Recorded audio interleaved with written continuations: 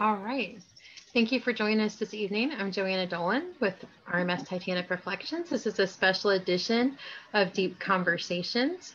Our special guest this evening is Dr. David Gallo, and we are here to talk about what's next for Titanic. I'm sure some of you have heard some of the rumors about some things going on at RMS Titanic Inc. And Dr. Gallo is here to give us his opinion on what has been happening behind the scenes and what's next for Titanic. So I'm going to turn it over to Dr. Gallo. Um, we're also joined tonight by um, fellow admin team member uh, Kipfer Fox. Um, he's with RMS Titanic Reflections and with uh, Fox Star Line. So thanks for joining us, Kipfer. Uh, we're going to let Dr. Gallo um, just let us know what's going on, and then we'll take some uh, questions from the comment sections and comment section. So if you have anything to add to the discussion or if you have some questions for Dr. Gallo, uh, please comment below. And again, thanks for joining us tonight. Dr. Gallo? Thanks, Joanne. Thanks, Kipfer. Um, and thank you, everybody. Um, I've gotten a lot of texts over the past uh, 10 days or so with all sorts of rumors about the company. I don't work for the company. I mean, I don't, I'm not an employee of the company. I was a consultant to the company. So I don't know exactly what's going on behind the corporate walls. I know that um, Bretton Hunchak, who was the uh, CEO of the company, has left the company. And uh, Know the company is still strong and moving forward. I, you know, I don't know exactly what path they're going to take, but I just wanted to chat a little bit about where we were uh, before COVID, and uh, you know, I, having been on that side of the uh, behind the doors, it, it, was a difficult place to be because uh, we had the uh, sometimes it felt like the weight of the world against the company because uh, you know we were called grave. I was called a grave robber. A, uh, a see, what was it? A uh, ruthless grave robber. I had no idea there were nice grave robbers, but I was a ruthless grave robber, a, a greedy treasure hunter, and a bunch of other lovely names. And uh, uh, that was all about the Marconi room, about the plan to uh, recover the Marconi. And uh, you know, I want to dispel some of these rumors because uh, if you read some of the things that were written that we were going to tear into the ship and and cause all sorts of damage and rip things, you know, it was never that. In fact, the expedition meant it was meant to carry on the work we began in 2020, which uh, you see, see some of that behind you there, and you know that's what this thing that cover photo. Oh, there you go. That cover photo and that geo is uh, from the 2020 expedition. Um, so uh, let's just talk about Marconi. The uh, you know we, we had recognized for some time that the ship was degrading, like everybody knows, well, that it's been degrading, and particularly around the area above the Marconi room and uh, to the point where you could see bits of it through holes in the deck or ceiling, depending on how you want how you wanted to look at it. And so the only thing we, you know, everything you do with Titanic, by the way, has to go through the judge. It has to be planned, it has to be uh, submitted, and then it's reviewed, and uh, and then you have to go before the judge. And she's no easy uh, hurdle to get over. You know, she's very protective of the ship, and she should be. So uh, this notion that we were out, you know, running around willy nilly, is the word I hear a lot. Doing what we want to do, everything you touch, she has to approve. So uh, what we asked her for was not, hey, we want to go rip the Marconi out. We said, uh, you know, there there are places we want to go take a really good look at the deck above Marconi, up the roof around Marconi. We know there are some large openings. There were in 20, 2010, and we assume they're going to be larger still today. And uh, with the right team, this is the formula: the right team, the right talent, right technology. We were pretty confident. Actually, we we're very confident that we could reach down and salvage one or two pieces of the Marconi, nothing big, nothing bolted. There would be no sawing or yanking or anything like that. Um, like there's some thought that the telegraph key may have been there. So, um, and so we never said we're going to do it. We said we'd like her permission that that on the spot, if we decided that we better do it, uh, that we we had her permission to do it. And I, and uh, you know, from my perspective, if I was going to be co-expedition leader, um, it was agreed. There, there, were two others that if any one of us decided it was going to be too risky, we wouldn't do it at all. You know, we just would leave it the way it was. But you know, what showed up in the media, despite what the reporter said, was always this rip and tear and uh, plunder and you know all this stuff. Uh, so you know, almost everything we tried to do with the company was met with some sort of resistance, which really bothered me. Um, the company, uh, when I was, I, I, began Woods Hole in 1986, right after Bob Ballard found Titanic and, and explored it. And uh, I always kept it at arm's length because it wasn't what I did. You know, I was a scientist. I wasn't a Titanic uh, person. I'm still not a Titanic person, not really. And um, uh, but I think I was with Bob when we heard that George Tulloch and the team was out there on Titanic and recovering artifacts. And uh, from that day forward, we be- began saying that it was grave robbing, that uh, you don't go to Gettysburg with a shovel, all these things, which was unfortunate. And uh, uh one thing I remind you is back then there were about three different groups that could go to Titanic uh, Woods Hole Oceanographic, uh, the French with their submarine, and I think maybe the Russians or the Japanese. But you had to be one of those. Today, if you've got a couple hundred thousand dollars, you can get a ship and a robot or a dredge, and off you go. So that's a very different story at Titanic today. Anyway, so at Woods Hole, and I was with Billy Lange, who probably if you know me, you hear me talk about Billy quite a bit. That's uh, footage from his cameras behind behind me. Oh, by the way, that's the footage should be uh, credited to RMS Titanic Inc. Um, so, uh, you know, the thing was that we were, for the longest time, prohibited after 1987 for, for talking about Titanic. Certainly, we're not allowed to go visit the exhibits. And I was told more than once that if we did uh, uh, do that, that we it would cost us our jobs, and uh, it was meant seriously. It wasn't an, an, idle threat. So we stayed away, but uh, but at the same time, we were you know um, calling RMS Titanic all sorts of names, saying this is not the way to do things. But this one day, Bill Lange and I wandered into one of the exhibits from RMS Titanic Inc that one. The, the one, President RMS Titanic Inc. has nothing to do with the uh, actions of the initial company. Uh, they probably shouldn't have kept the same name, but uh, so we wandered into the exhibits, and what I saw just was amazing. You know, I saw families come in, I saw young people, old people, every uh, demographic you can imagine, and the look on the children's faces or on some of the adults it was powerful, it was emotional, and the thing that I liked most about it is it was authentic. It was an experience. You know, most people don't get the privilege of seeing Titanic like that behind me. And uh, I always felt like, you know, if you were one of the academic elite, sure, you get to go see Titanic. Not many people are going to question you. If you're uh, affluent, put down a hundred thousand bucks, Sure, but for the normal person, and Titanic's got a globe full of people that love that ship and the legacy of that ship. Uh, but for the normal person, you don't have a chance.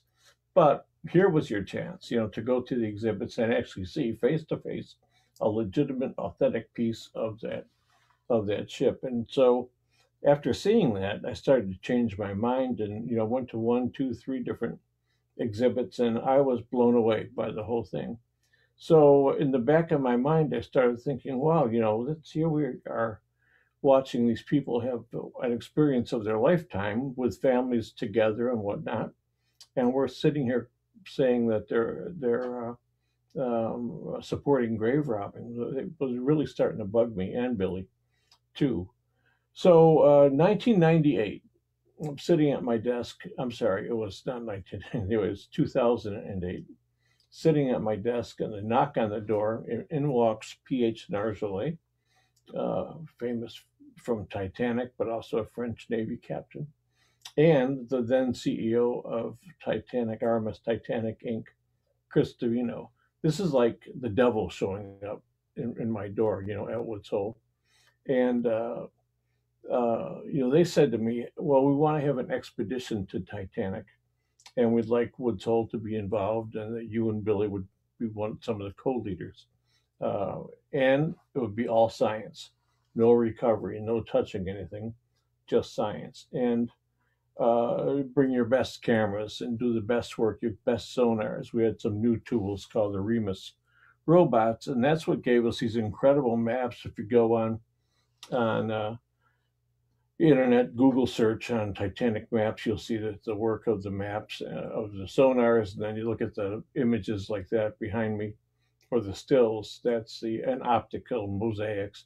That's some of the optics we did but but the mission was very different from the usual one. You know, the usual mission to Titanic was like uh, adventure to Titanic. It was always the same thing. You look at the bow, look at the mast, look at the holds, look at the bridge, uh, the grand staircase off the back, maybe over to the stern and then up. So it was always the same kind of railroad trip. And uh, for the first time, we said we want a map the entire wreck site. We don't want to miss anything. Let's do the whole thing. So we had a three mile by five mile map, and then we have a, a one mile by two mile map. But still, I think we missed some stuff. Um, and it was very boring because we went up and down and up and down. And uh, it's not what you want to do when you're exploring, but at the end of the day, it was like painting a wall or mowing the lawn or whatever. Um, you know, we had a really nice map of Titanic my point in that is that this was a real important thing for Titanic because for the first time ever we had a detailed map.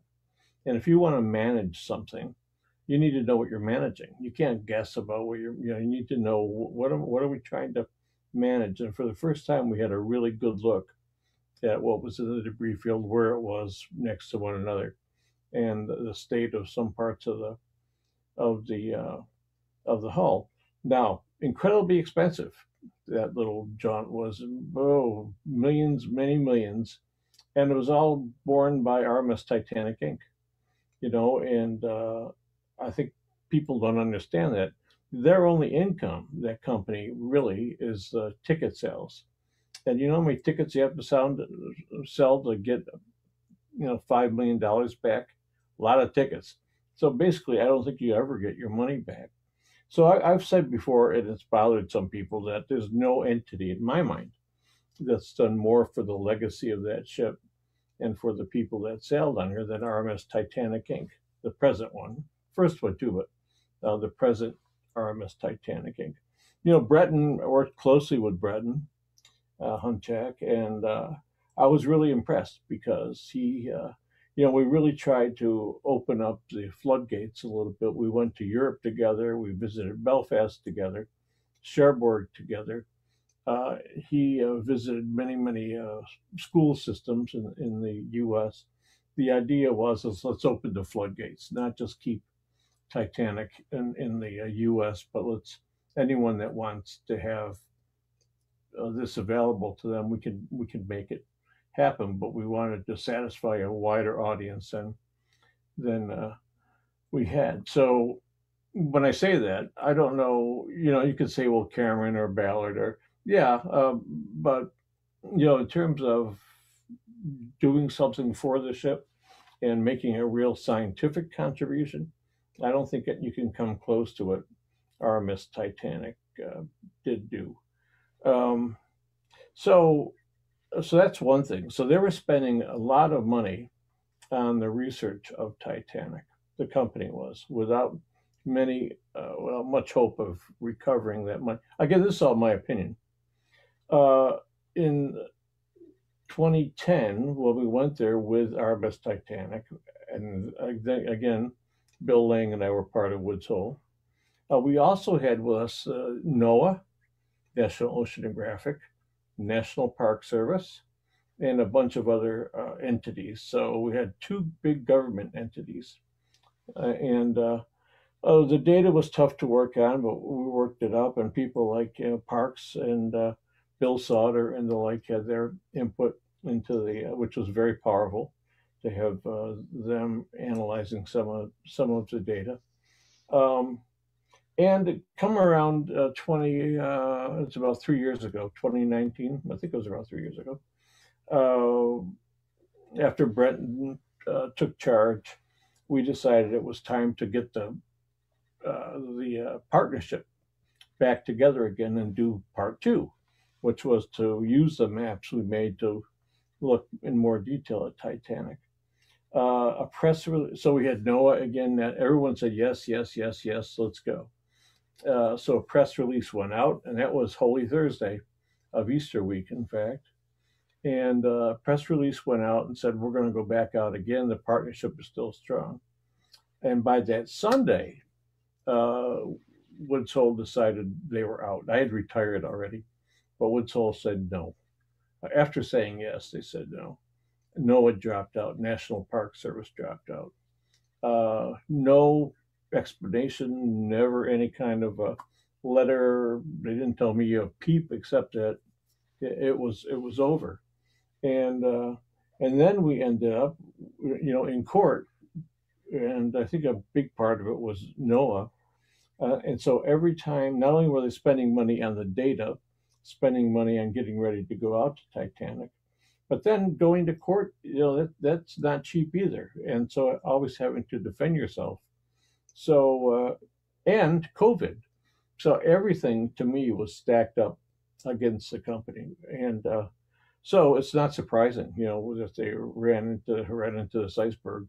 Um, and, uh, you know, we'll see what happens in the future. I, I hope they take the right course, which is uh, to keep collecting information and uh, making it available to the public. I mean, that was my, I'm not a Titanic, I've said this a bazillion times. I'm not a Titanic expert. You know, I'm not a historian. I'm not an enthusiast. My interest is in bringing the deep sea to people. And so if I can help bring Titanic up to the surface, so to speak, uh, in imagery and the like, that's what you know, that's what I, I like to do. And I was really looking forward to this uh, next expedition. So I hope they do it again. I'm not sure that I would be involved again because you know it's all this stuff uh, is really wears on you after a while. The press headlines that you're a grave robber, treasure hunting creep, and all. Uh, uh, it's tough to sit back and just take it. You know, you want to lash out, uh, but uh, um, it's not. Easy. Sometimes it's better just to keep your mouth shut. Um, what I do hope that doesn't happen is that uh, you know there's a there's an agreement between uh, France and Canada and I think Italy and England and Ireland and, and the U.S. Uh, to uh, protect Titanic, so that anyone that goes to Titanic has to go through a series of committees and forms and and whatnot before you go out there that's no way to protect Titanic. I mean, there's nothing stopping uh, from a from a country that's got. Oh, there's the Marconi room behind me there, the ceiling, the deck. You can see how lovely that is. Uh, some gaping holes. Um, so there's a, a country with all the right kinds of. Uh, an individual could do it, but a country with uh, the right kinds of tools, and those countries exist, could go to Titanic and take all they want you know, in a couple days they could pick up all sorts of neat stuff. And uh, this notion that this a bunch of uh, countries are going to protect the ship really bothered me quite a bit. Um, to me, the things that I thought for Titanic was that uh, you need the shipwreck at the bottom of the ocean. That's the mystery of it all. It's the icon of the deep Titanic sitting there. You need to know what shape it's in, so you need to occasionally bring back a piece. You have to do the scientific experiments, but that needs to be there. And then you have the Camerons and the Ballards that do their thing, of making a movie, writing a book. Um, but and then though you have the exhibits, so it's like a four-legged stool that you have to have all these things complement one another. But the company never wanted to bring up, uh, you know, I never once in my time with that company, so since 2010, sat at a meeting where we said we're going to go out there and grab everything we can grab. Never, never, never once. Uh, never uh, entered my mind. You know, the one if you saw the show, uh, what was it, John? The Titanic. Well, we got uh, a cable wrapped around a bit of Titanic from the ROV. I didn't sleep for days. It was one of the worst days of my life. So the idea that we even touched the ship. Uh, that was in the documentary I just watched. That was. Mm. My I, I smiled after so that. You said I looked grumpy the whole exhibition, but then I smiled after that. Um, so you know, you can pick on the company all you want, and you know what? I don't mind people that say, um, "I think it's grave robbing. It's a grave site." You know, even though we've never seen any human remains, um, undoubtedly there probably some, or were some, inside the ship. There may have been some on the sediments, but uh, it's not Gettysburg. And even at Gettysburg, you walk around Gettysburg, people and everyone that goes to Gettysburg hopes to find a sword or a, a bullet or something like that. And we weren't even doing, you know, we weren't digging in the sediments, we weren't disrupting anything. Uh, so to compare it to Gettysburg was a bit was a bit uh, was a bit crazy. So, you know, uh, I just think the company got a real bad rap for all that, and I'm hoping. Oh, uh, I was saying I, I don't mind when people say I just think it's wrong. I get it. You know, I like it. What I don't like is when people are fed the wrong information and base their decision based on that. Like, oh, we see human remains. Uh, when they base it on that, that ain't right. So uh, I have a problem with that. And the one thing we promised ourselves is that no matter what it took, and that's why you know Bretton's been on here several times on uh, on in your uh, what would you call it uh, groups um, I've been here several times. Bill Lange's been here several times um, talking about the data. Uh, and that was a conscious effort to let you know uh, what we were doing, you know, what, what, what we had in mind. And in, in Congress, we asked you and wanted to know what do you think that we should be doing uh, with that ship. So going forward, I hope you can be, be as vocal as you are with the new company, however the new company comes out. And I and, and I was saying that you should think my way or or you know I think make your own decision, but express it. You know, express it to the judge if you want, express it to the company if you want, but but uh, you have the right to do that because I do believe, like when like Bretton did too, that Titanic belongs to everybody, and it belongs to the future. So you should have a say in this, and you should not be this elitist uh, place that only a few people can go uh, it should be open to all. You should all have that experience. That's all I have to say. I'm done. I will say, um, in the conversations that I had with Bretton, um, I was impressed how he um, he was very um, adamant about you know education with Titanic. Yeah. Um, you know, as far as you know, the current state of RMS Titanic Inc. being very pro education. Yeah. Um, and I think that's something, um, you know, that I'm very um, passionate about. Um, you know, Titanic has pretty much been kind of wiped from the history books. Um, it's not something that kids study anymore. It's not something you learn about. You don't learn about that period in history anymore. And I think that's something that Bretton, you know, under the, you know, his time at RMS Titanic Inc., that was something he was really trying to you know be proactive about and so i really yeah. did admire that in him and there were a um, number of things that, like you know, moving that, forward that you know i hope they they do yeah, continue uh, you know how deep the company was it was bretton then it was me billy bill sauder um, mm-hmm. uh, just a handful of us you know trying to do a plan an mm-hmm. expedition mm-hmm. process the data from the uh, first expedition look at education uh, look at the exhibits all that mm-hmm. stuff so it was really uh, stretched very, very uh, thin. Yet we recognize that you know we have in our hands this incredible icon of the deep, mm-hmm. and it deserved to be treated uh, with as much care uh, as as uh, as you can imagine. So, um, um, yeah. When I go into schools to substitute teach, I always take my Titanic tote bag and I talk about Titanic to the classes that I teach, and they're like, Miss Dola, why does um why are people still talking about Titanic?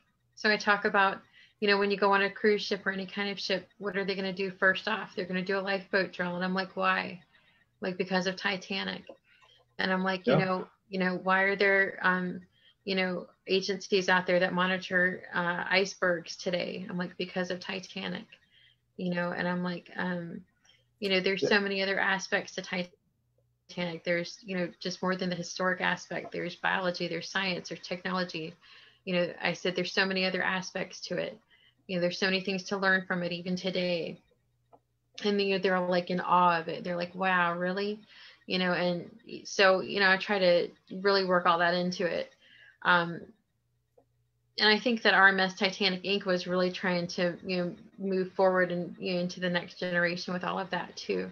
Yeah yeah. Well i, I mean the, whoever the new ceo is you know will continue so. to be open with the public about all of that yeah but you the know plan like brett really was that, trying to do uh, first of all, you make a good point. I mean, if I had on my uh, vest by Titan, if it said uh, something very important, climate change, blah blah blah, working group, you know, no one would say anything to me. Every time I wore that vest, Expedition Titanic, mm-hmm. everywhere, everywhere, people would stop me and ask me about Titanic.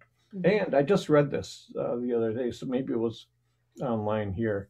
Uh, is that um, m- most people that I've talked to did not get their interest from the movie or Bob's book. I don't get it, but because uh, I would have thought otherwise. But it's uh, they came to it other ways, you know, through mm-hmm. uh, Lord's book and through their parents and grandparents talking about the uh, handing down the story. Anyway, the plan was just like you said, Joanna. It was uh, you know we have RMS Titanic, then we have uh, on this arc that includes you, the enthusiasts that actually understand the ship. I mean, I would so we don't understand all the bits of the ship and all that. I mean, that's something you do. So we have this arc, and then with education over here, so that. Uh, but it's all one piece. It's not like Titanic and oh yeah, let's do that and let's mm-hmm. do that. No, what about this? It's just an arc of taking the information we gather here and getting out, getting it out out to the to the people. Mm-hmm. So it'll be really interesting to see what kind of direction the company takes. I, I'm really hopeful, you know, that it will be a good one. You know, another CEO, another direction. Yeah, it's horrible. I really uh, feel bad about that, but I understand. Like I said, you know, the uh, constant barrage being in court all the time, mm-hmm. and uh, the thing about NOAA and National Park Service pulling out of the partnership that was really mm-hmm. weird. And Woods Hole too. That was that without any explanation. That was really strange, and I haven't really pushed hard to find out what happened, but it was embarrassing, and it was stupid. Um, well, we have, um, believe it or not, we have a few uh, viewers and a few questions coming in. Um, Michael Standard, um, he says a lot of people who are actually who actually know what they're talking about have described salvage as a great way to turn a large fortune fortune into a small one. He yeah. said, personally, I think George Tulloch had the right idea. Um, yes. Well, it's a very yeah. That's a great thanks. Thanks for the comment. Oh, sure, that's that's right. It's uh yeah. It's I don't know any real rich treasure hunters, by the way. um, but uh, you know, at least in my career and Bill Lange's career, we've gone out of our way so people wouldn't point to us and say treasure hunters. So, you know, it was all anything we touched on the bottom had have a scientific uh, background behind it. But uh, uh, yeah, you're you're absolutely right. And George, you know, back in uh, the late '80s, it was a different time then. And uh, for all they knew back then, someone could have come right behind them, could have, and just cleaned out the site. Mm-hmm. So uh, don't blame him at all for what he did. I I was very impressed with George when I met him a couple times. Again, here's a person that I called every name in the book and, and to the media. But uh, when I met him, I said, "Oh my God, this is like one of the most genuine persons that ever worked on that ship." You know, he really I think he had a dream. He wanted to bring Titanic to back to people. You know, he wanted to bring the he people of it. Titanic You know, the back guy, to. the guy Mhm. really, really, really meant it, and uh, so kudos to him. Uh, but you know, the Titanic today keeps getting saddled. They've never picked up anything, but they get saddled with uh, Mhm. picking up uh, five thousand artifacts that people think it was, you know, last year or last month, and Mhm. back in the we're talking about the late '80s for for the most part. Yeah, but good comment. Um, then our friend Michael Brady, um, he said, "This is fascinating, davit. Thanks for doing this." He said, "Was there one particular Titanic artifact that moved you or spoke to you the most?" Yeah. Um, um, well, every time you saw a David there uh, with a little piece of rope hanging down from it. So I think uh, those, it's not really an artifact, but those spots on the ship where you know what happened there, how uh, emotional that had to be, how powerful that had to be, always mean something to you. The cups on the seafloor say RMS Titanic Inc.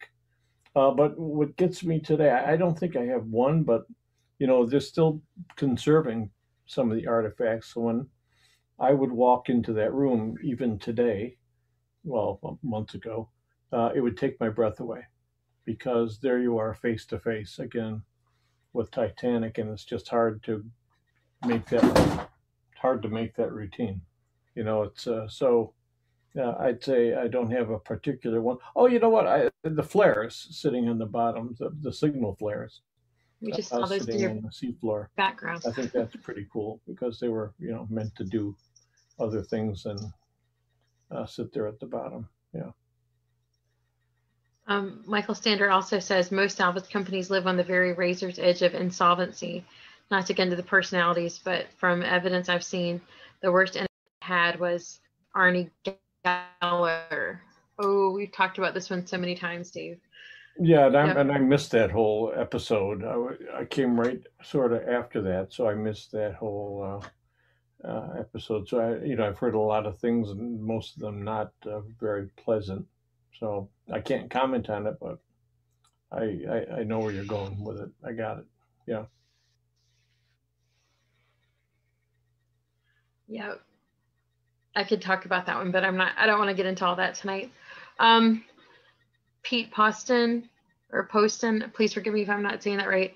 He says what specific parts of the wireless would be recovered? Davey kind of touched on that a minute ago. You know, Um, um, here's how little I know about Titanic. It, it was it was mostly some of the wiring and maybe a panel or two that are. If you look in the online, uh, you'll see photos of it. Um, so it's that bit, and it made me. Uh, and usually next to it, they have their recreation, which is the shiny little radio sitting there. And one thing I always worried about was that if we brought back tho- those bits of the first of all, it doesn't look anything like a radio, and it would look like some dead sea creature.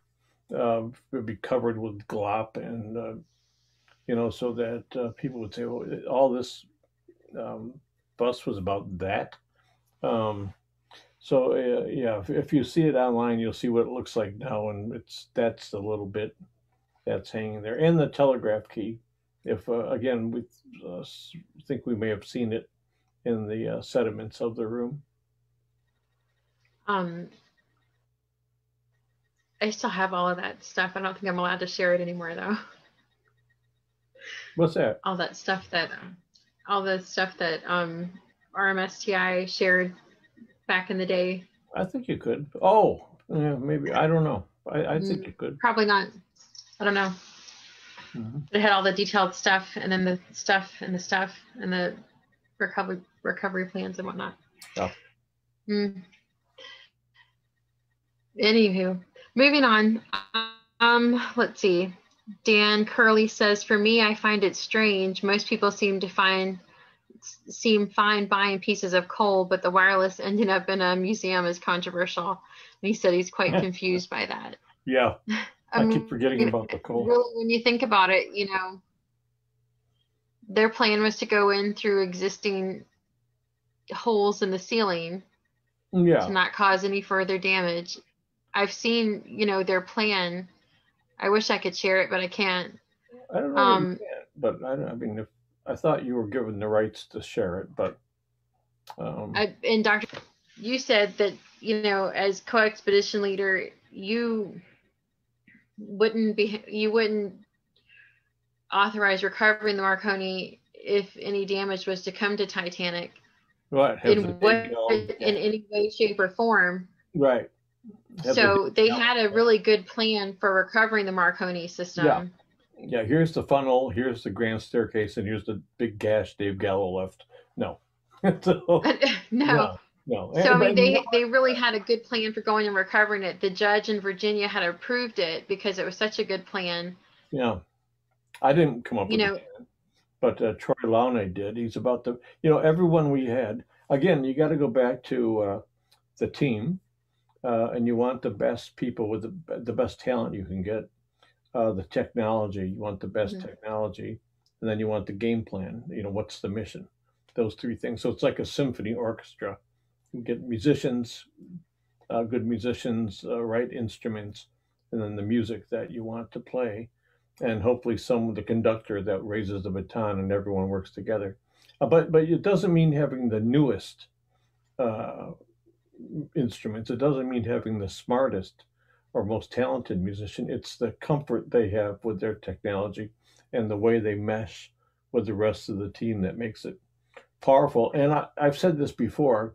Uh, the heroes of the Titanic expedition and almost every deep sea expedition is not the bozo standing up in front of the microphones. You know, I'm privileged to have had that role, but it's people whose names you never hear of. You know, it's uh, Packard and um, uh, Steve Gegg and Tom Crook and uh, Evan Kovacs and Marion Kovac. It's just people that, you know, and there were times on Titanic, we were out there when we weren't running from hurricanes for weeks, and I would, some people were up for days, and I would have to make them go to sleep. Uh, you know, they were like uh, the Walking Dead on the ship, and that always uh, impressed. You know, we also uh, were fortunate enough to find a missing aircraft, Air France Flight 447.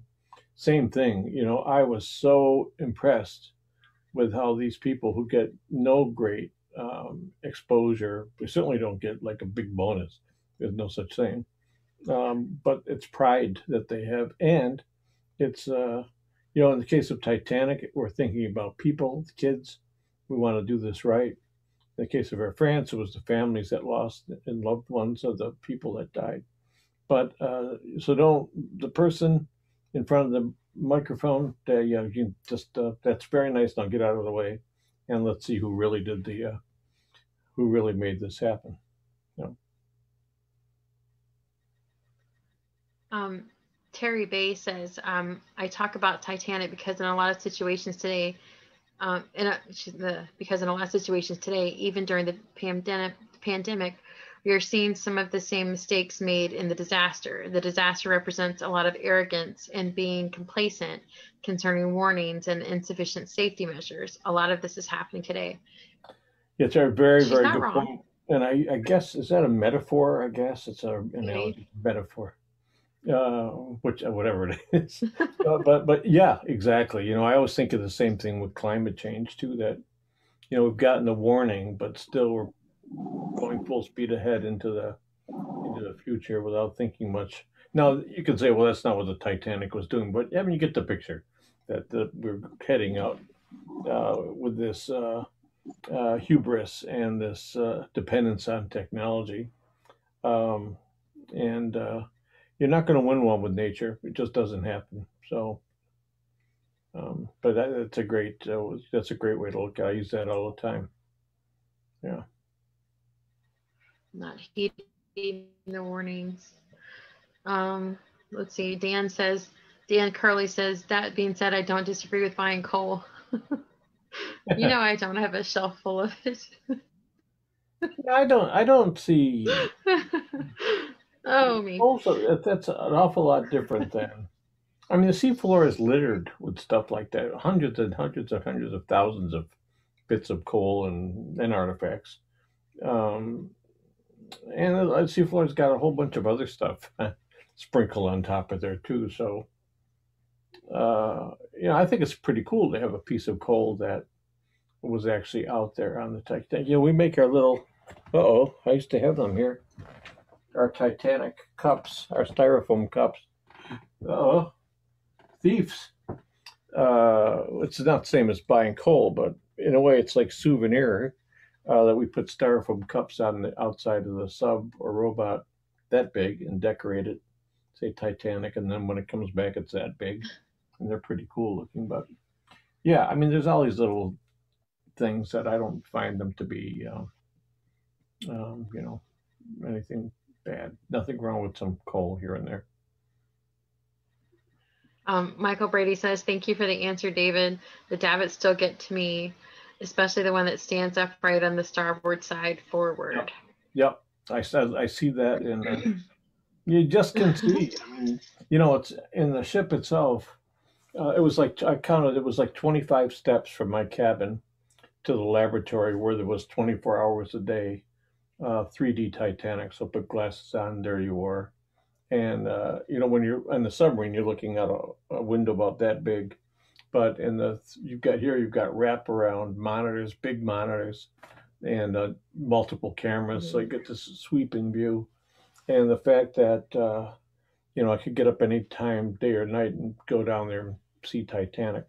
But uh, you could always tell when there was something like that on the screen, something poignant or something that really emotional because there'd be a different kind of uh, vibe to the laboratory when people you could tell people just wondering like you know wow that's uh, that's uh, pretty important so uh, Michael Standard says uh, he's held one of those chunks of coal in his hands at the Pigeon Forge conference back in 2019. Says my albums and my personal page are all open book if you care to drop by. Speaking of the Pigeon Forge conference, Dr. Gallo, are you planning on coming in in August? Absolutely not. I thought I saw your name on uh yes, on the. Uh... No, I wanted. To, I just wanted to get a letter from Bill Willard. That's all. Yes, no, I'm looking. For, I'm really looking forward to it. It which it made me think about this again. Uh, you know, until Bretton showed up, that group of uh, elites would not dream of showing up here uh, or maybe I'm wrong. Did they ever? Anyone else ever just show up here and talk about? I mean, of the people that did the work out, I don't think so. At least none that I've known of. And uh, so, you know, hanging out at something like Pigeon Forge, I'm really I'm honored and looking forward to it. I really am. You know, oh, I'm looking forward to it too. I, was just talking about it today with my mom. I was like, "You have it marked on your calendar, right? Because I'm going." Yeah, I'm going. Maybe uh, the kids um, uh, you know, I think I've said it in the beginning. I'm not saying it for sympathy, but you know, my time with Titanic, uh, I think is coming. You know, I retired. Um, I've got a lot more other stuff to do, uh, and there are a lot of younger people. You know, I'm old. it's a lot younger people that can do this. So I'm thinking last in 2010. I said that's my last expedition and um, you know it may may well be. I don't know, but I'm going to uh, keep my uh, commitments that I've made, uh, at least most of them. And so yeah, Pigeon Forge, sure, yeah. You're gonna go do Pigeon Forge, and did you say one more Titanic? What? I'm gonna leg wrestle Bill Willard at Pigeon Forge. Did he? Did he? We're gonna and we'll be streaming that live right here. I just want to say that right now. Yeah. No, of course I'm going to be streamed. I, no, I'm looking right for. I wanted to go. Um, whatever. uh, I think there was political upheaval last time where I couldn't go. Something was going on. Uh, but uh, yeah, I'm. Oh, I know what it was, but I'm not going to mention it. All right. Well, I'm really looking forward to. Uh, it was some legal stuff, I think. I yeah. Yeah, I don't think. It had to do with Ballard. It all. It all comes back to. yeah, jeez. I'm gonna put his picture up here. Um, uh, yeah, just don't think for a moment that everything's hunky dory behind the scenes. I mean, it's a day and night uh, squabble that goes on behind the scenes of. you know, I watched it for years and years when I was at Woods Hole without getting sucked in. next thing I knew, I was in the middle of the whirlpool, getting pulled down. But yeah, it's a very brisk um, uh, business. Yeah. So let's just try oh, to like. You know what? what? I'm sorry to interrupt you, Joanne. Uh, you know, the OceanGate is going uh, in June, I think. And I don't know how I feel about that. I mean, I think, you know, I was out there with the Russians when they were diving on Titanic. And, uh, you know, I thought that was pretty impressive. Um, people sure had a good time. And as long I just worry, you know, I have this horrible nightmare that the current takes a sub and just sweeps it across the deck and pulls the railing off. Would be very easy to do. Boy, that would change the whole look of the ship. It really would. So um, I worry about it in that way, and I hope everyone comes back safe. You know, we don't normally dive with three people. They're talking about five people. Um, but we'll see how people feel when they come back from that from that expedition. Yeah. Just have to hope it goes well. I mean, they're taking some seasoned experts with them. I think Rory's going, yeah. right? Yeah, that'd David be awesome. going. There's some some good people going on those expeditions. You know, right? So yeah, I would love to go out to sea with. I've never had the opportunity to go to sea with Rory, but I would love to uh, opportunity. Um, so I'm hoping for the best there. I wish I had $125,000. I would go. Back in the uh, 80s, it was 50,000 um, with the uh, but 90s. It was 50,000 with the Russians to go when they're Mir submarines. Yeah.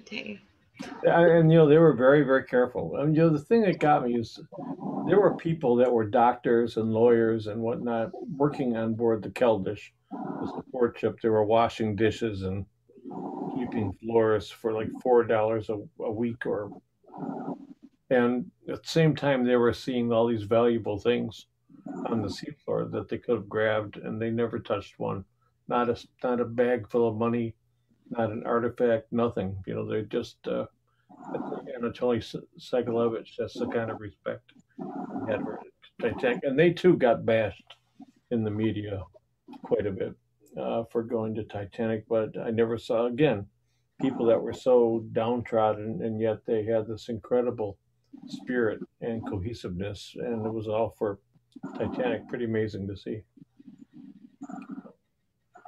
Yeah um i think that i mean you say that you're not a titanic person but i think that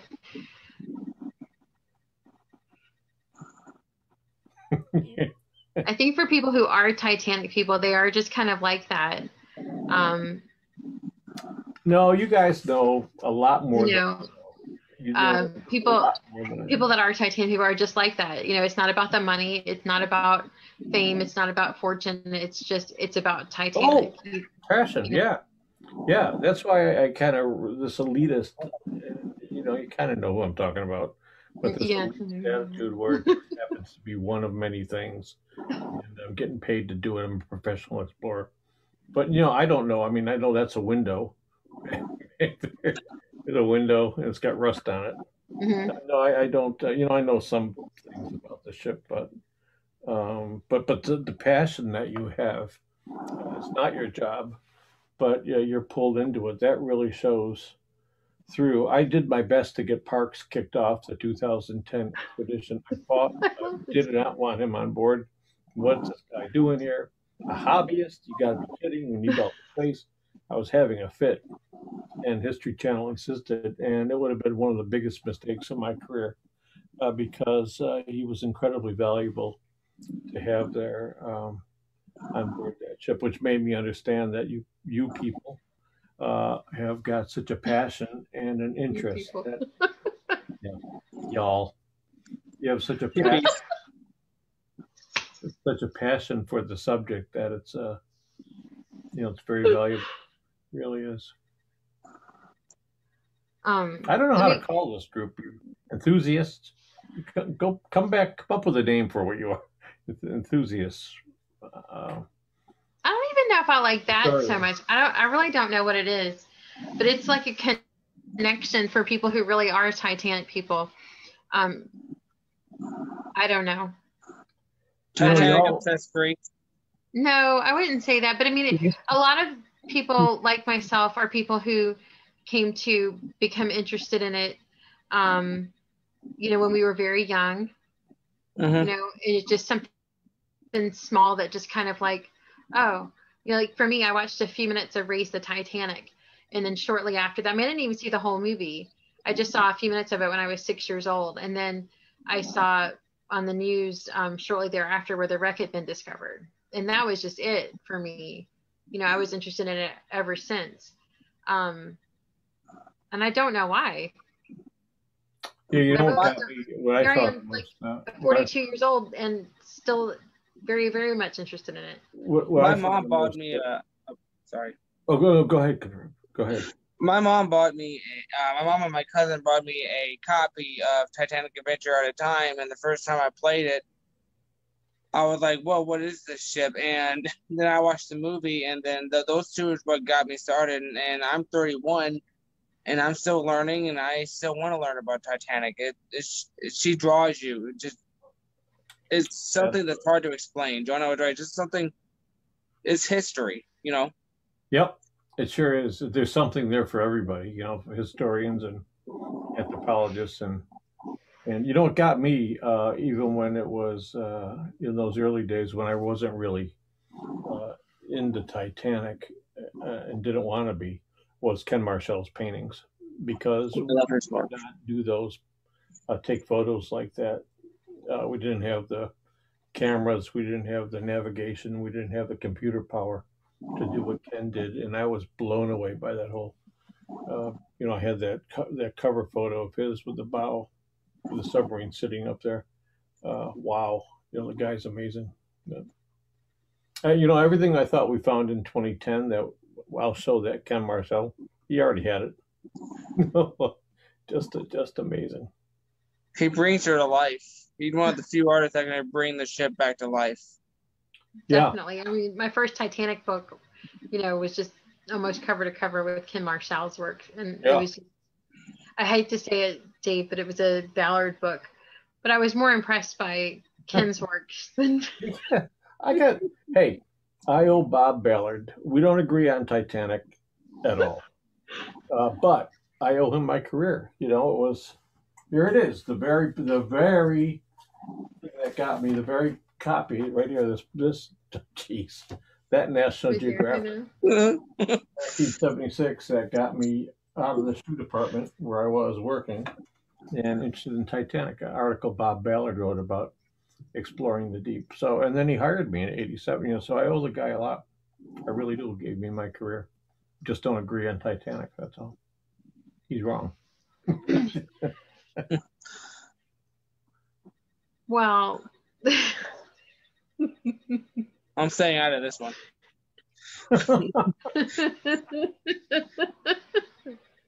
um. Okay, so to just kind of recap. All right, so for those of you who missed the very beginning, um, Dan says, "What about Bob?" Oh goodness. Um, what about Bob? Anyway, so to just kind of recap, for those of you who may have turned in late, tuned in late, look at what is wrong with my mouth. I cannot talk tonight. Um, so, in recent days, RMS Titanic Inc. has had yet another upset internally. They have let go their the CEO, Bretton Hunchak. I don't know if they let him go or he he left. I, I really. Well, either way, Bretton Yeah. Hunchak is not, no longer the CEO of RMS Titanic Inc. They have a new CEO. Do we know who that is right now? I thought they were supposed to announce it. Somebody's bound to know who it is. Who's their new CEO? I bet I know who knows. It's David Gallo. Um, Yeah. Surprise! so once again, there's a huge turnover at RMS Titanic Inc. We're just kind of speculating as to what the future holds for the actual wreck of the Titanic and for the future of the company.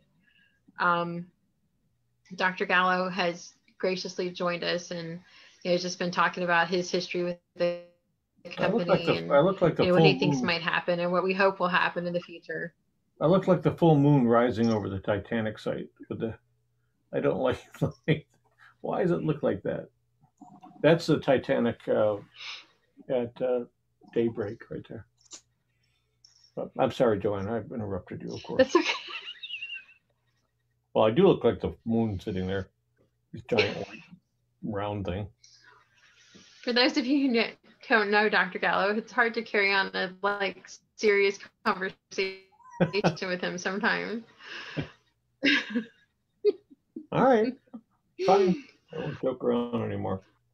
Um, That was funny. we have another question, and this is from um, a Titanic artist. Um, and I'm gonna murder his first name because I don't know how to pronounce it. Please forgive me. I think it's Facilier. I don't know. Um, I am so sorry. But he says, Hi to all, great talk. I have a question for David. What are some of the most advanced technologies used currently in rec- Mm. exploration and gaining data or data, depending on how you want to pronounce that? Yeah. For example, is um, what is wrong with me? Is um, LiDAR tech used extensively? Can we expect that eventually complete rec or complete site to be 3D scanned in high detail? Yes. Yeah, that's a great question, and you're absolutely right on the money. Is that uh, you know we took the time to go take uh, thousands of photographs and mosaic them together, uh, but that doesn't give you shape information. Except then we had a algorithm that allowed us to get volumetric shapes and stuff. But with lidar, you know, and the thing that cracks me up is now lidar. Well, my phone disappeared in front of my very eyes. If you've got an iPhone 12, there's lidar on the on the iPhone 12, um, which is amazing. He's not sitting here like, where's my phone? I do that It all the time. I'm like, where's my out phone? So, uh, you know, we think uh, that what what we plan to do is to sweep up and down the hull a couple of times and back and forth, so we uh, cover it completely with lidar. So then we've got the ship in 3D, both in terms of shape, but also in terms of of texture and images, and then also do the debris field. And uh, so I think that's one of the powerful ones. The other thing we need to do is get some experiments going to find out how long the ship will really be there because everything it's all a guess. 25 years 25,000 years. Um, who uh, who knows? I mean someone well i don't want to get into that what happened to the experiments but uh, yeah someone uh, i mean th- that needs to be done. I wanted to put a hydrophone on the titanic so we could hear what was going on. You know there are uh, currents like rivers that are the wind that blow across Titanic from different directions and at different speeds. And uh, there's got to be metal flapping around and things like that. Uh, and Titanic's getting sandblasted. So I also wanted to put some current meters. You know, it's science, science, science, science, science. Um, yeah, and there's things I wanted to, to take a look at. That was uh, like the wake. As the bow plowed in, there's a wake behind it um, and I thought that would be great to have a look at that. So, uh, um, but but all of it's new technology, just as you said. You know, it's lidar and uh, new kinds of sensors. So, uh, one thing. Uh, here I go again. Uh, you know, there's a submarine. People would argue that the robots are 24 hours a day. You can have multiple robots. Each one has multiple cameras, plus all sorts of other sensors on it submarine it's a 10 hour day basically. Um, it's uncomfortable uh, you can't see anything really. Uh, but to me it's like going to a sporting event or a concert live. Uh, if you go say a sporting event uh, you know you've got to drive to the stadium you got to park you got to get into your seat it's crowded people are uh, you know jostling all around. Um, uh, whereas at home, you know, you can sit there in the comfort of your home and go to the bathroom, get something to eat. Um, you have color commentary on uh, re, re, rewind on TV.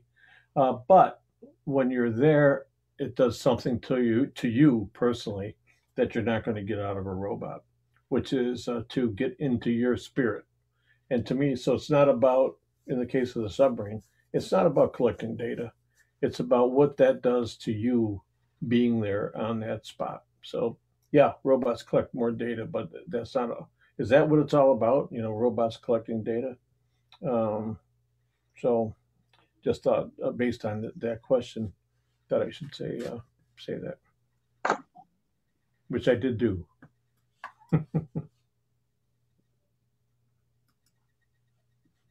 Background. So, uh, let's see. Um, why are you? Why is everybody looking at me? Huh? It just got really quiet. Oh, Why? I don't know. Go on. Were you guys talking about Bob again? There's the background. Oh, I love that. Oh, is that the wreck site? Yeah, Yeah, that's uh that's, aerial view of the wreck site. oh, that's the stern. You can tell because it's got the debris field. All those lumpy, bumpy things right there. Oop, my arm's gone now. Just, yeah, and you should see the big those uh, strange other pieces are there someplace too. I should sometime do a. Oh, these things over here. I didn't even talk about that. Um, oh, come on, up there. Those are dunes. There's some huge underwater dunes that are moving across the seafloor. They're well known. Uh, I didn't. I, I didn't know until we saw them, but they're they dwarf dwarf Titanic. Some of these dunes, and they're they're in motion. Also, the slope up here. Um, the world is that? There's a lump here. I don't understand that. um, there have been landslides in this area too, so it's not out of the question that uh, Titanic could end up in the middle of a landslide. It's possible. Um, so there's a lot more than just the Titanic. The seafloor is really interesting there too. Surprised So- hasn't been hit already. My phone. What? I'm trying to keep up with all the comments. So did that answer that question? Yes to Good. lidar and, Okay. and more. Yeah, yes to lidar. All right. John Wilton says, with further deterioration of the wreck, do you feel items will become fully exposed? It would recover. It would be okay to recover items from the inside. Oh, from the inside of the ship. Well, that's controversial. Well, yeah, I don't know Uh. exactly why. It's. I mean, you have to make a decision, and it's not up to me to make that decision. It wouldn't have been up to me about that's something we want to recover, either because it's important historically, or well, it would have to be that, or something scientifically. But uh, I mean, there's, there's probably. I mean, there's a lot of stuff inside, so uh, you know, someone needs to make that decision. I I don't think it should be picked clean. You know, I don't like I said, you need the ship down there in as uh, pristine a shape as you can have it, uh, because it adds to the mystery. You know, you still want to see those cups sitting on the dressers and the bed linens and all that stuff uh, on the ship. You don't want to just grab everything from the ship. So I, I think it would be the rules. I think are good that uh, no taking anything from the inside of the uh, of the ship. Now, I I do think we need to penetrate further into the ship. Someone we, uh, you know, I'm just curious in the bow uh, whether there are remains there. You know, it's uh, it'd be important to know that. And uh, you know, dis- despite the fact we haven't seen any remains, we treat it like a gravesite, and uh, with that kind of reverence, because you know, in the past, you'd say we commit the ship and the souls aboard for eternity to the deep. That's what we said, right? Eternity's gone, leaves the surface. But now what we're saying is that, you know, we crossed that border, just eternity. So when we do it, you know, we go there with really, honestly, a sense of reverence. And, uh, you know, it's, it's, it's not like a, a trip, uh, you know, it's only two miles beneath the surface. So it's, uh, on land in a car it'd take a couple minutes. But you really are going to another planet. You know that's the average depth of the ocean. The pressure is in, uh, incredible. It's pitch black. It's freezing cold. So uh, it's not routine by any stretch of the imag- imagination so all these things come into play And like I said, we don't go there like it's uh, another day in the park. We go there with a lot of reverence for the site. I think the main like objective with the recovery of the Marconi system was, you know, its its great historical value, um, you know, and the fact that you know the Marconi room is in danger of collapse eventually because it's you know one of the sub. Am I am I saying it right? A substructure or Yeah. am I saying okay? Because it's on top of the ship and it's Yeah. made of thinner metal, and eventually that will collapse, right? Well, it is. I mean, Um, like you can put your unlike unlike the bow i mean unlike the the rest of the ship the hull which is made of the thick steel that will be there for a long time that's a structure on top of the ship that's probably going to collapse much like Yeah. the captain's Well, quarters and the the, officers yeah. quarters and stuff like that Yeah. and then that will be lost to history Nothing lasts Um, long at the bottom of the sea. Bodies don't last long. Flesh is gone. then bones are gone. I- shit, you know there's a I bacteria. think the reason, right, but I think the the urgency with recovering and the the the the reason that people wanted to recover the Marconi was because, you know, of the historical value to it. You know, um, the the wireless operators they fixed it literally the day before the collision with the iceberg. yeah. You know, and if they could recover it, they might be able to see how they fixed it, why they fixed it, how it was broken. They might be able to restore it and have it. You know, It's it's a great story, and you know it, it makes me uh, and it is, and it's a memorial to you know the life that was lost there. but the papers how they say stayed there. it's all about money. This is all about money. Stuff in your pockets. Really?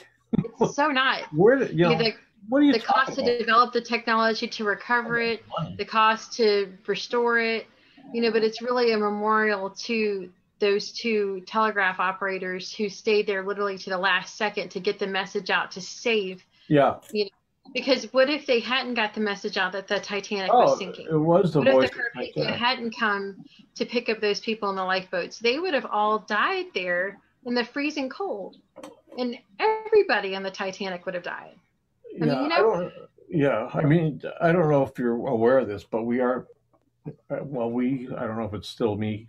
Uh, we're planning on, and might still um, look for the Mount Temple, which was, of course, involved in the sinking that night, um, but also was uh, on the way from Canada to the, the British Museum, carrying dinosaur bones from Canada to England, and it was sunk, sunk by a German radar a raider somewhere in the middle of the Atlantic Ocean. So uh, it would be awesome to find it and maybe recover surgically, laparoscopically, recover some of the dinosaur bones. But again, you'll take a look at the headlines. It just cracked me up. I woke up one morning and it said the British government, American oceanographer angers British government. Me. I'm thinking, I did. You do piss people off. No, I'm just kidding. yeah, I angered the British government. First of all, they should talk about artifacts for crying out loud. Let's go in the British amongst all those British mummies they got there. Uh, you know, so I, I, I just don't think it's right. It gives the public the wrong. You know, I worked for CNN as an analyst for a year about. All right, Joanna. Did you work with CNN? I took my cups down. She made me take my. I had all my CNN cups behind me, but she complained on that wall back there. Um, uh, yeah, what I found was that the news wasn't always really exact the news, and uh, and I see that's what happened. When, You know, anything to get headlines that get people, so they always pump up the headlines. You know? Yeah, and with, even today, if I said that we found another nut and bolt from the Titanic, it would get, I swear, international coverage. Uh, they would, uh, people would want to know. Tell me about this nut and bolt that you found uh, from Titanic. It's mind-boggling uh, how much people want to know about Titanic. This is an interesting comment from um, Michael Standard. He said, correct me if I'm wrong, but the superstructure is gradually imploding. This being the case, when it all snowballs, there won't be any question of going to recover anything. It'll Uh, all be covered up, Imploding and falling in on itself, yeah. right? Yeah. So that Uh, would be like the steel hull. Now I didn't. I wasn't aware of that. Is it really? Well, yeah. I mean, if it's going to, if you're if you're going to lose the structure of the decks and the and the whatnot, it's going to fall down into the hull for the most part. I mean, it's you just end up with a giant heap of uh, metal at the bottom of the uh, of But the. that'll take years and years and years. I don't know. I don't. Right. Well, There are places where it's got a good head start. You know, the captain's uh, bath, uh, captain's quarter. but you were on Yeah. Drain the Titanic, and Drain the Titanic said that it would take many, many. It's on the Disney I Channel. hated that show. It's on Disney Plus. Yeah, Go watch it, guys. I'm not watching it. That's If you guys would like to see Dr. Gallo, you can watch Drain the Titanic on Disney Plus. Sure, I'll give you five dollars not to watch it. All right, It's we're very interesting. yeah, I really don't know. I mean, I mean, what do you think, Dr. Gallo? I mean, What about Titanic? I mean, do you think it's imploding? Really? Well, I, I don't I don't know that imploding is necessarily the word, but it's collapsing. Sure. I mean, over time, yeah, it's it's, it's collapsing. It's going to Like it's going 20 years? 50 Uh, years? Oh, 100 years? No, no, no! Don't do that CNN thing like with Malaysian Air. So, what do you think they were thinking about in the cockpit? Uh, I don't know. Every day, every day they ask me the same question. How would I know? No, and China. So I mean, but, that's the truth. Nobody know. can really put a time a time frame on it. That's what I tell everybody because they're like, oh, well, the Titanic. Because people come to me all the time. Oh, well, Titanic. I heard Titanic's gonna be gone in 10 years. I'm like, no, They've been saying that for the last hundred years. no. Titanic's made of like steel, and it'll probably be around, you know, longer than your. There was there used to be uh, so to do the experiments. There's a woman, Laurie Johnson, a Canadian scientist. She's excellent, and you leave these bits of metal around Titanic. They can study over time how the how they're attacked. And there used to be a whole bunch of them on the bow, and then somebody with a robot picked them up and dumped them over the side. Can you imagine that? Hmm. Dumped them off the bow because they got in the way of a television shoot. Hmm, Hmm. that's unbelievable. In my opinion, um, this may be a little controversial, but this should show you how strong Titanic actually was. Yeah. When she can last over a hundred years under miles and miles of ocean, and the ocean is so pressurized. So when people say she was a weak ship, no, she wasn't. She's Yeah. a very strong ship to last over a hundred years. But that's my opinion. No, So- it's yeah. Oh, it's going to be there. I, I, I don't think the hull's going to be gone in a hundred years. You know, I, I who knows? I mean, you know, it's been well. I guess uh, uh, Victor Vescovo went um, a couple years ago and had a, a couple of hours at Titanic, but uh, no one's taken a real good look in ten years, really. And it's probably going to be unless OceanGate keeps going back and it could be another 10 years. And that, that was our point with the Marconi is that if we don't, if it looks like it's collapsing now and we don't do something now, and it's up, you know, make a decision. If you don't, if, if you don't mind losing it, don't do anything. But we may not be back here for another 10 years. So, you know, if we have the opportunity, can do it safely, now is the time. You know, again, I have to remind you that it's not like just going to the out to the. It's not like going to Gettysburg. You know, we're going to a different world where, um, again, the pressure is high. The it's pitch black. You have no navigation to speak of, like GPS, and so getting anything done is really really takes a talented uh, bunch of people to get stuff done. So, if you you know, we spent a lot of time, a lot a lot of time, people's time coming up with that Marconi plan. Um, maybe it'll still happen. I, I don't don't know. Um, it's that kind of detail that you have to put into it uh, to understand how long the how the uh, super the superstructure will still be uh, around. Steve Hall said it would be nice to place a microphone on the wreck for a week. Yeah, so I was saying a hydrophone. I would. It gives me the creeps uh, thinking about it. But I, yeah, I would love to do that. In fact, that we were planning on doing that. So uh, had already scoped out the people that could do it, the companies that to do it. So I thought we'd put several around the ship, uh, in the ship, on the ship, and maybe in the ship, so we could. Again, you know, the winds, the currents are blowing all the time. Mm. So it'd be interesting to see what it sounds like. Ugh, making a Um, here, I have stand up on the back of my head. It would be amazing if we could put Steve a says, web. they? Oh, sorry. Go ahead, Kipfer. It would be cool if we could uh, uh, could put a webcam on there, but then thinking that all you would see would just be black. Yeah. It, it Paul said, did they take requests for looking at areas from historians? Yeah, no, I we were ready to do that. I was gonna say at one time they did take like suggestions from people. No, no, that was part of the deal. You know, Bretton uh, I, I've told various people that you know make a list. Uh, let's talk about it. Not that we'd say, oh yeah, let's go grab that, but at least put it on the table. Uh, you know, and I, I can't tell you what a pleasure it was. You know, I work with Bill Sauder pretty closely. I, I, I you know, he's like over up here and I'm down here, but uh, working with Bill, wow, wow.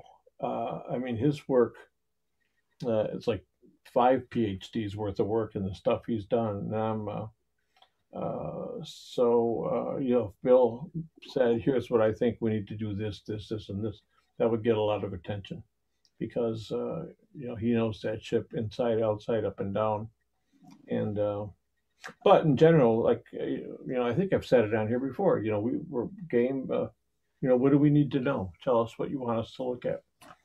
You know, I really hope that you know the new RMSTI will be as open to you know because I know that's something that you know Bretton was always um, really he was trying to be transparent. And I think that you know the former RMSTI they were trying to be transparent. They were trying to be open to you know, to the public and met it, he said it in the office. He said it in the way over to Ireland. He said it late, late, late night in the pubs that we have to do the right thing for the ship and for the people that care about it. And uh, you know, he, he meant that. Now you can argue that what he was thinking was the right thing was the wrong thing, but you know, he meant what he said that he wanted to do the right thing for the ship.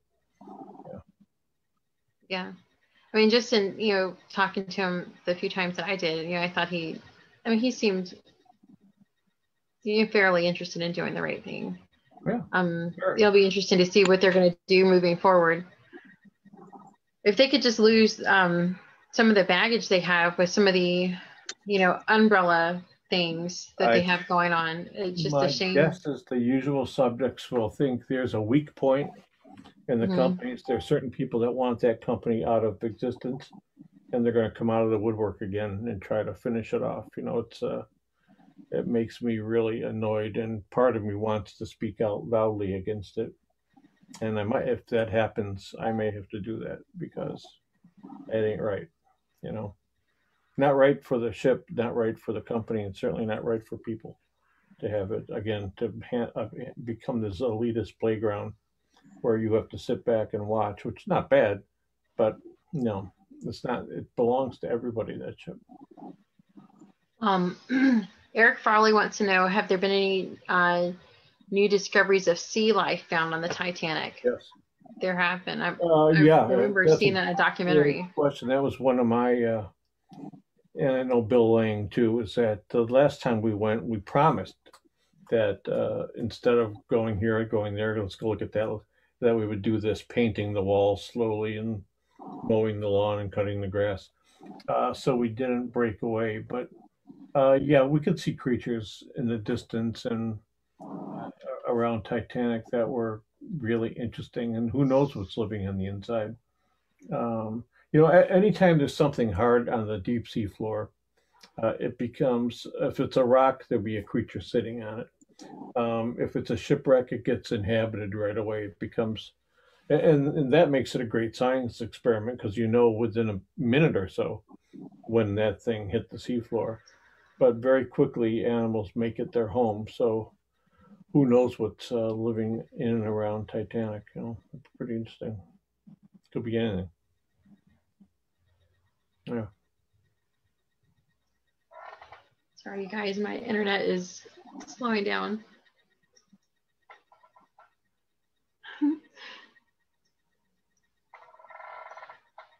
All right, hold on. My internet is like slowing down, way down. Okay, Steve wants to know where do we, where can he send his request um, for surveying the wreck? I guess they RMSTI canceled um, their expedition this summer, though. Yeah. I mean, Uh, it's all was it up in the Steve? air. Steve, right? Was it word? Steve Hall. Yeah, Steve. Uh, Steve yeah, Hall, Steve just for those of you yeah. guys who don't know, he, um, which I can't imagine anybody not knowing, he wrote um, or co-wrote um, Titanic, the ship Magnificent. Oh my I gosh. got that. Magnificent. So I got that. Titanic, the ship Magnificent, Magnificent, and many other Titanic. Oh, is that the big the big book that's crushing my bookshelf, making my The big two books, yes. yeah? Hey, you ruined my bookshelves over there with that giant. Every- Everybody has has learned over the years that those books need to move to the bottom shelves. As I learned the hard way, Wow. as I learned the hard way a few months ago, I was like, wait a minute, my bookshelves are bowing in. I have three, and I have three of them because I got fooled by the a, a, a cover, a different cover. So I have three. So they're really. Well, there's several different editions. Um, Yeah. but yes, So but, Steve, um, uh, they were taking suggestions and even suggestions of what artifacts to possibly put on a wish list. yeah, But they had to cancel their um. Oh yeah, we don't want to drop any of the volumes, volume one or volume two, Steve, on your foot. He said, "Don't drop volume one on your foot." but um, they really were. They were they were asking, you know, Titanic enthusiasts or historians, um, you know, you know what parts of the ship they wanted to see, and you know, of a short wish list of artifacts. You know, if they I, I- yeah, I wouldn't necessarily call it a wish list, but But- yeah, uh, your opinion of or opinion of yeah. what artifacts would be historically significant. Yeah, 'cause, Um, again, we never had that meeting about these are the artifacts we want to go get this one, that one, that one, this this one. Uh, but I so I, in the olden days, you would just send it to me or the company or Bretton or you know, Bill Sauder or you know Johanna or whoever they would get it. Uh, but now with this new era, I don't know. I don't know how they're going to deal with that, or if they're even going to deal with that. Everything is just kind of like protected salvage rights, and uh, I don't know how that's going to play out either, because it, it's been a long time since it's been. If you have salvor rights, you have to show that you're continuing to work on the site, and it's been now over ten years. So I, you know, I think they have to go back out there. I just don't know who who the expedition leader would be and who would come up with the plan and all that stuff. So they were Yeah. supposed to go back out this summer Yeah, and they were going to recover the Marconi or attempt to recover the Marconi and look Dr. Gallo here was supposed to be a co-expedition leader and um all of that is just kind of Yeah, I'm sad about that because I was thought that that would be a great way too. That would be uh, to end with like uh, we Basili, uh, you know, the, the lidar. That would have been just awesome to be able to bring that back to people to see. Uh, I've seen examples of it that just blew me away. Uh, the lidar stuff because um, it's pretty amazing. But not going to happen this summer. You know, it's like the third time uh, we had to scrub it um, COVID got us twice. yep covid last summer and then this summer financial issues i suppose and Well, now we're trying to work it out, yeah. But it's not, you know, it's, again, you're talking about five, six million dollars to get out there, True. uh, do a halfway decent job. So, yeah, It's just a shame though to go through all that to get all of that approved by the judge and then just have to scrap it. Because I mean, I remember last summer we were all writing to the judge in Virginia trying to get her to approve Marconi recovery, it worked. and it worked. And this summer everything is canceled again, and it's just sad. Um, Yeah, well, uh, yeah, I haven't talked to Bretton about it, but I don't it's know. disappointing. or anyone else really about it. I haven't talked to Billy about it. Um, you know, I feel bad for people like Billy Lange. He was on watch that night in 1985 when they found Titanic. He was sitting right there uh, on that watch. And so he's had that part of his life forever and ever and ever. and uh, I know he's got unfinished business with Titanic, so uh, I was hoping we could give him that that opportunity. Yeah. Well, I don't think anybody should give up hope yet. I mean, maybe this will be a good change for RMS Titanic. Oh, I, I'm not being negative about it. I'm just I just don't know what the future holds, and I'm just sorry, maybe a little bit bitter that the way that you know that the company never really had a chance uh, between COVID and then being dragged into court every time we turned around. Uh, and having and you know by the way we won every time we got pulled into court mm-hmm. they won every single time but the and sad thing is it costs a lot of money whether you win or not yeah got to pay lawyers and uh, fly people in and and you know i'm expensive so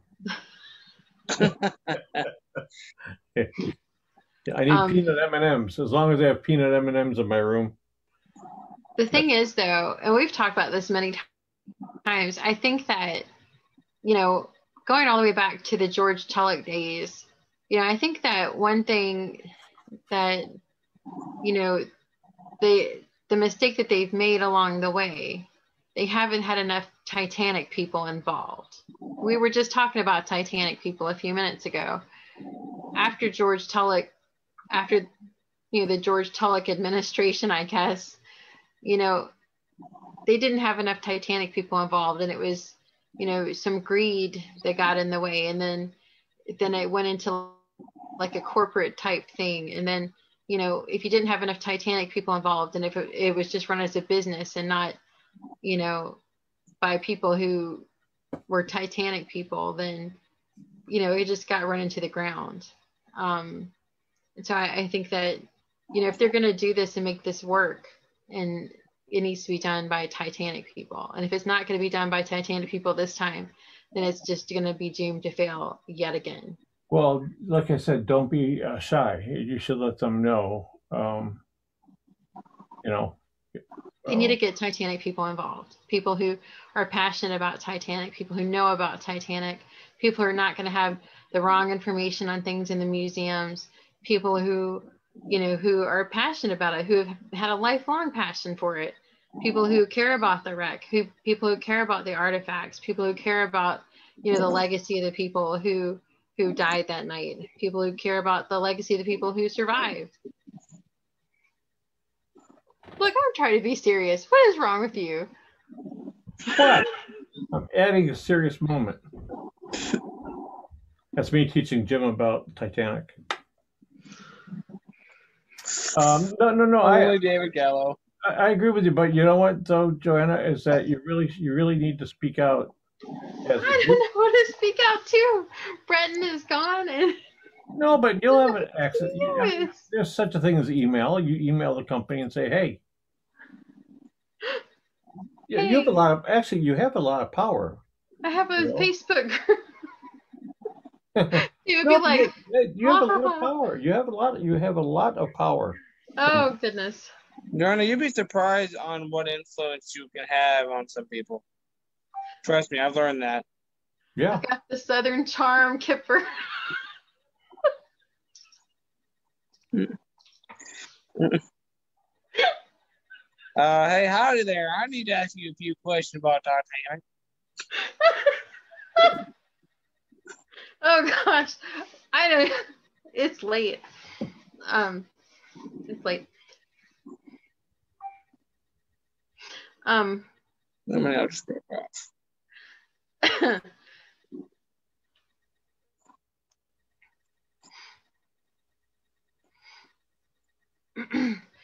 anyway, what happened to the Jim Cameron picture? Now you just got a map. I don't know what you're talking about. I should probably watch that movie someday. Oh yeah. That's a good movie. No, I've never seen it. Tell you the truth, I've seen snippets of it. There's one scene you may want to skip. That's all I'm saying. Ow.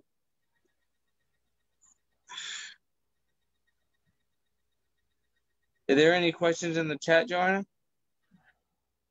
That's what I'm looking for. Um, let's see. Um, Hostile Takeover, Giant Dave, Um, let's see. Um, Giant Dave. My head looks something's wrong here with. That's better. I'm getting squeezed this way.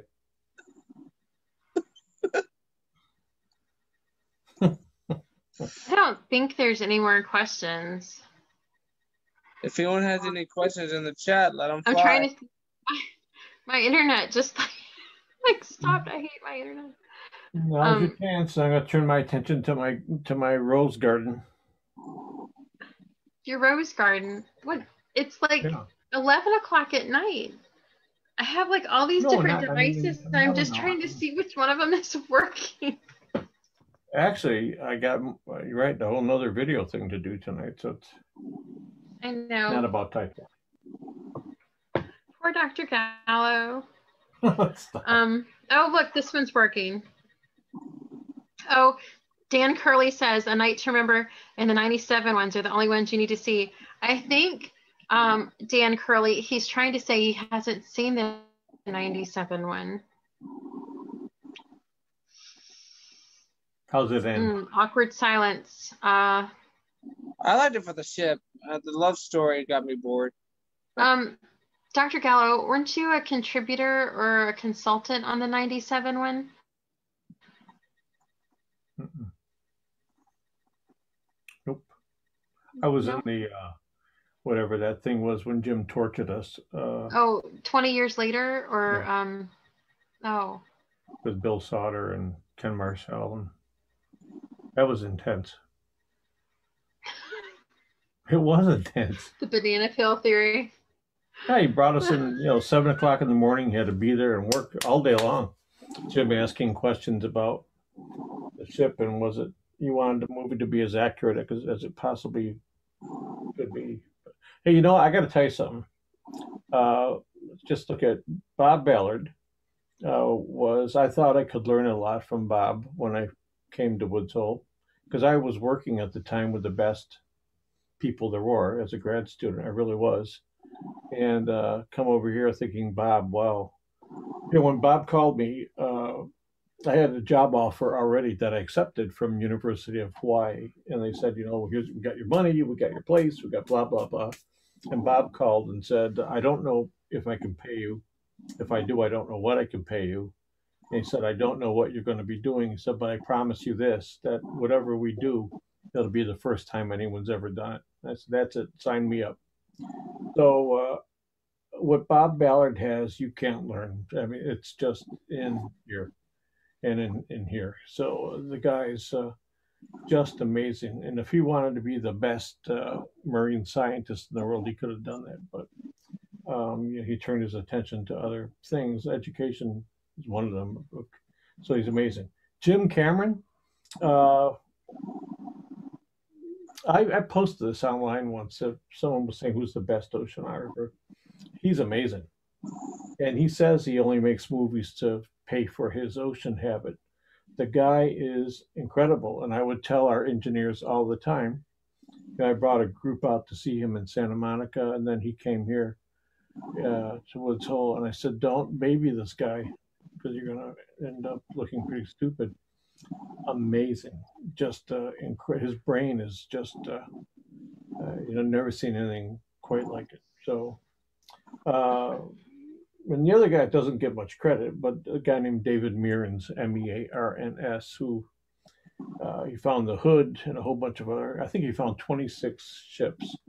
Uh, he is awesome. His research power that he has. Uh, he's like uh, Sherlock Holmes, and uh, you know, and uh, Sherlock Holmes. he's like Sherlock Holmes in the way he approaches stuff. So I made a comment online that it was not one person. If I had to find a shipwreck, be a combination of uh, Cameron and David Mearns are as a duo unbeatable. Pretty amazing. Yeah. Um, I would like to see Jim Cameron go back with like some new technology, like some wireless technology, and go into the you know like deeper into the ship. I think that would be really cool. Oh, not me, just Jim Cameron. I see. Fine. No, I would like to see him go back.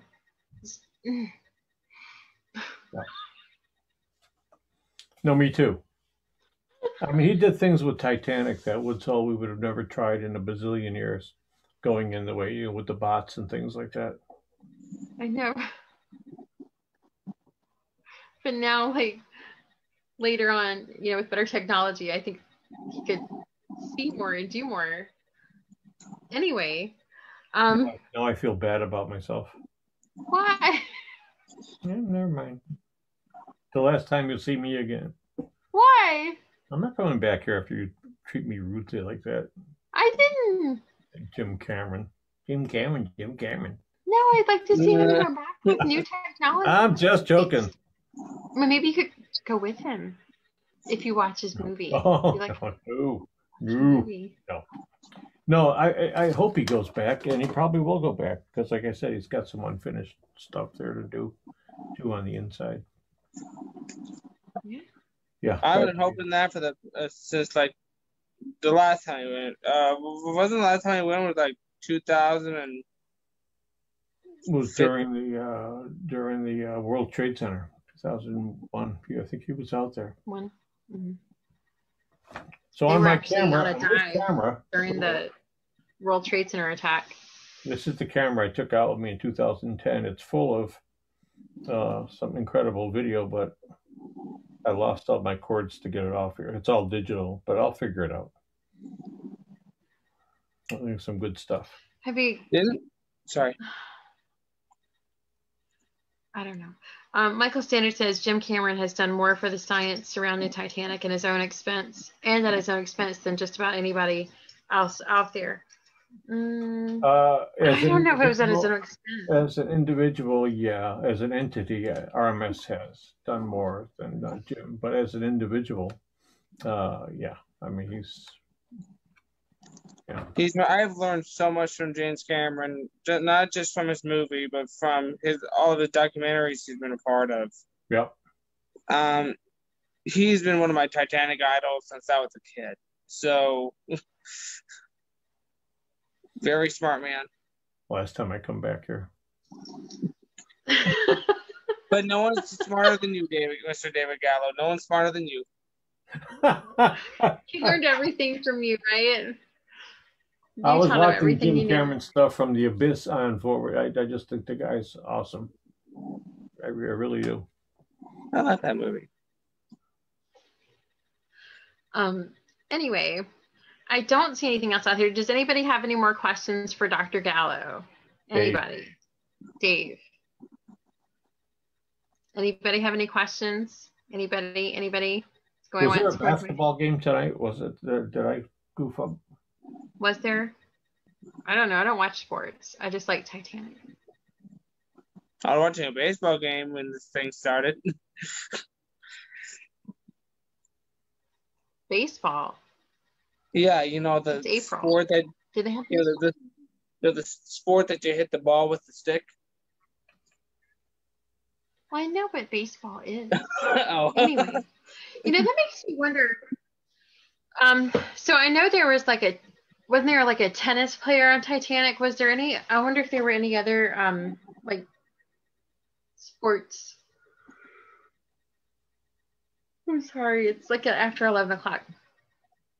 Um, I wonder if there were any other sports figures Haven't read my book. um on Titanic. That would be. my book on sports. I've been telling you to write a book. no, stop. I don't have. I can. No, been I don't. telling you to write a book, Uh, but uh, not about the sports figures on Titanic. I'm sure Bill Sauder knows.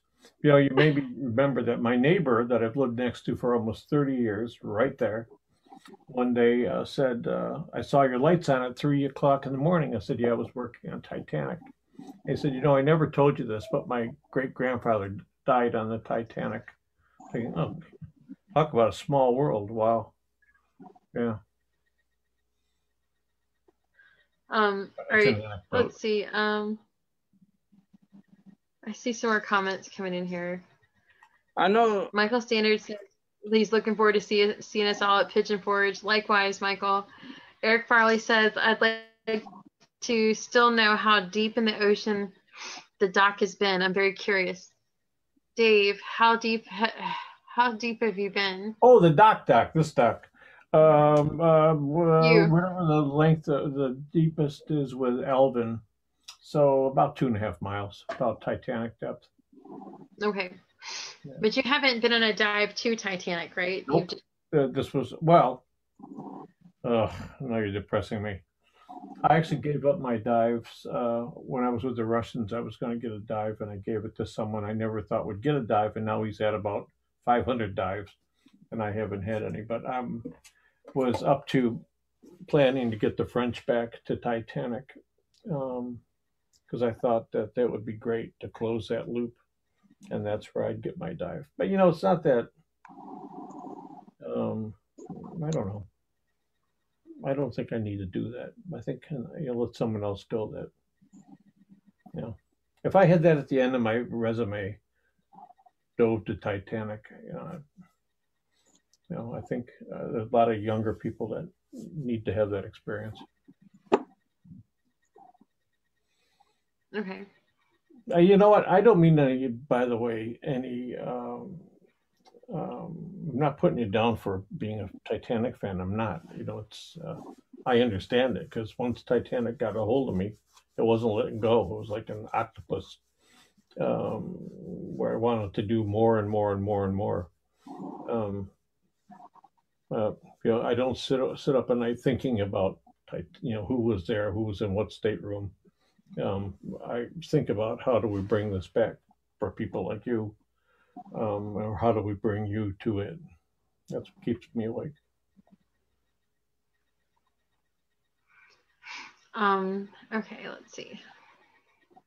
John Wilson says, You're a legend. Thanks for sharing. Oh, that's kind of you. Um, You're my only friend, John. John or Don? uh, John. John Wilson. Thanks, John. Um, Dan You'll Curley be in my says, will. Dan Curley says Charles Lightoller had a chicken farm later. um, let's see. Terry Bass says Richard Norris sense. Williams and Karl Behr were two pro tennis players that who survived the Titanic. There you right, go. Good to know. I knew there were some tennis players on there. Okay.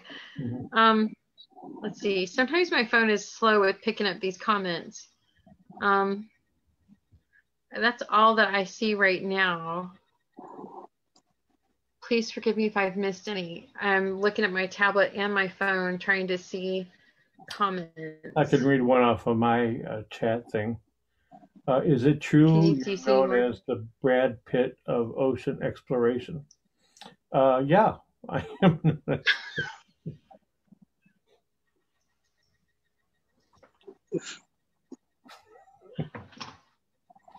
several several women asked that question.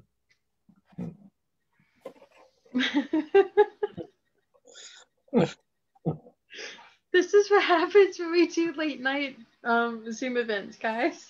I'm sorry.